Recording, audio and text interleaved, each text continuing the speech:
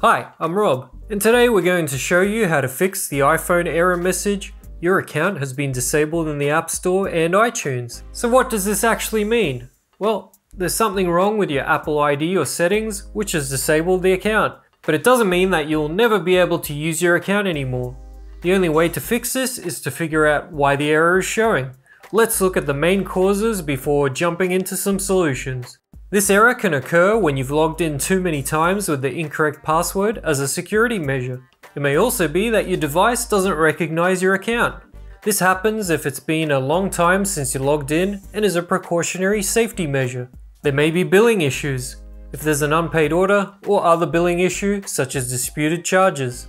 Security issues, if Apple considers your account unsafe, maybe due to suspicious logins. You'll also see this with an inactive Apple ID account which needs to be activated, and incorrect date and time settings.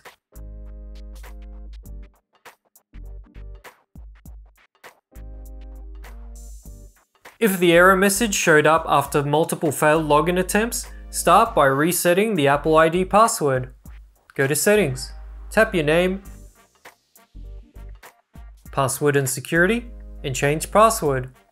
Follow the prompts. Once reset, use your new password to log in.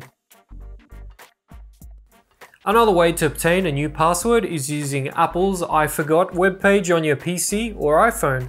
Follow the instructions to reset your password.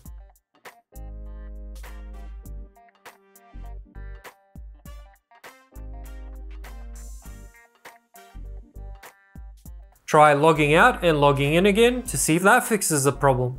Go to settings, tap your name, and then sign out. Enter the password of your Apple ID to log out. Reopen the settings app and log in with your Apple ID.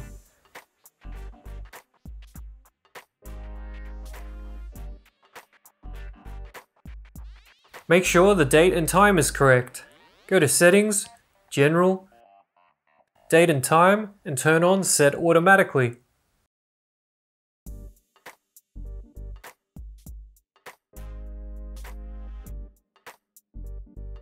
If you have an unpaid order on the App Store or iTunes for whatever reason, you might have a restriction on your account. To see what it is, go to Settings, General, and Restrictions. Follow the prompts to remove the restrictions. If it's a payment issue, you may need to update your payment settings.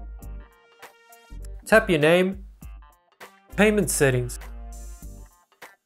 I hope that solved your problem. Like and subscribe for more great tips in the future.